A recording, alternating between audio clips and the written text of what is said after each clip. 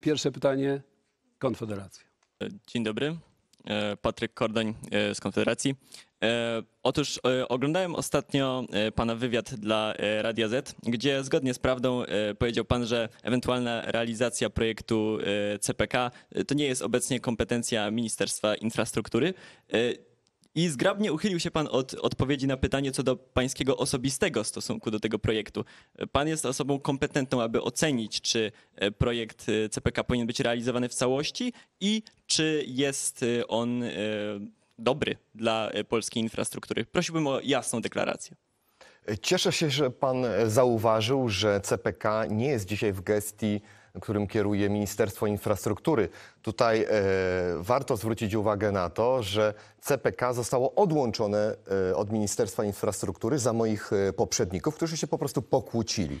To chyba nie jest dobrze, żeby w naszym państwie kompetencje szły nie za interesami państwa, ale za e, politykami. Ja jestem człowiekiem, który twardo stąpa po ziemi i dopóki osoba odpowiedzialna za CPK dzisiaj, czyli pan minister e, Maciej Lasek, nie przeprowadzi audytu, e, nie będzie można jasno powiedzieć, co możemy kontynuować, czego nie kontynuować, co ulepszyć i czy w ogóle wszystkie komponenty tego bardzo drogiego, wielkiego, z wielkim rozmachem e, projektu da się zrealizować. Ale w moim obszarze na przykład jest e, taka inicjatywa e, infrastrukturalna, która jest bezpośrednio związana z Ministerstwem Infrastruktury, czyli dobudowanie trzeciego pasa na autostradzie między Łodzią i Warszawą. I powiem tak, na pewno ten komponent będziemy chcieli zrealizować. Albo budowa tunelu e, średnicowego pod Łodzią. Tak, będę chciał go zrealizować. Mało tego, będę chciał go przyspieszyć. Natomiast co do reszty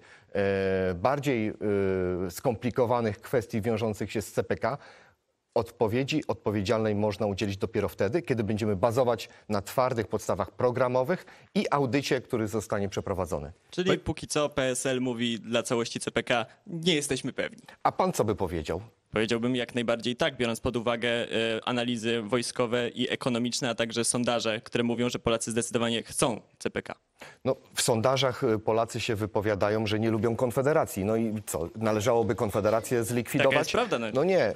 Uważam, że y, trzeba bazować na twardych y, podstawach. Jeżeli potrzebna jest nam szybka kolej, no to musimy zrobić wszystko, żeby ta szybka kolej docierała do różnych części naszego państwa. Jeżeli trzeba wybudować nową linię kolejową, tak jak na przykład tutaj brakuje szybkiego połączenia z Nowym Sączem od Krakowa, czy do Zakopanego. Wiele osób marzy o tym, żeby szybko dostać się do Zakopanego. E, To trzeba to wykonać. Natomiast podstawą do wydawania publicznych pieniędzy są twarde analizy. I w oparciu o takie, bez względu na to, czy ministrem będę ja, czy pan, każdy powinien się liczyć e, z pieniądzem, e, który idzie z kieszeni polskiego podatnika.